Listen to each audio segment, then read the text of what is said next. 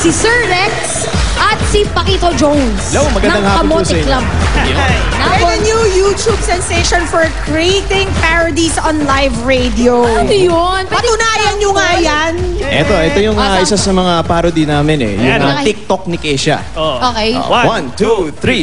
Tik-tik sa sanga, siya ay nakasabit. Aswang sa bubong, siya ay nag-aabang. Sanggol sa tiyan, natatakot at ang sabi niya ay oo, oo, oo, oo.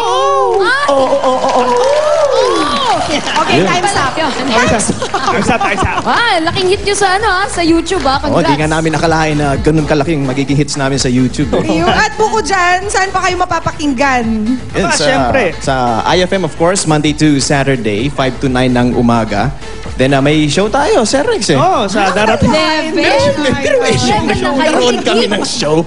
Okay lang yan. Sa Sabado, sa Paddy's Point Avenida. This coming Saturday yan, December 18. Tapos sa December 23, sa Paddy's Point, Bacoor. Sipin mo Yun bang Shembot, pina, pinapatugtog din niya sa radyo High rotation ng Shembot sa IFM. Oh, Oo, boy. ba yan? Lahat ng nga. Lahat Marunong ng kayo taga... sumembot? Ah, pwede. Paano ba yan? Okay. One, Five, two, seven, go! Aba, May back-to-back action pa. may variety. Yun yun eh. Wait, Maraming salamat sa inyo dalawa, DJ Sir Rex and Paquita Jones Maraming salamat, Itbulaga. Talaga.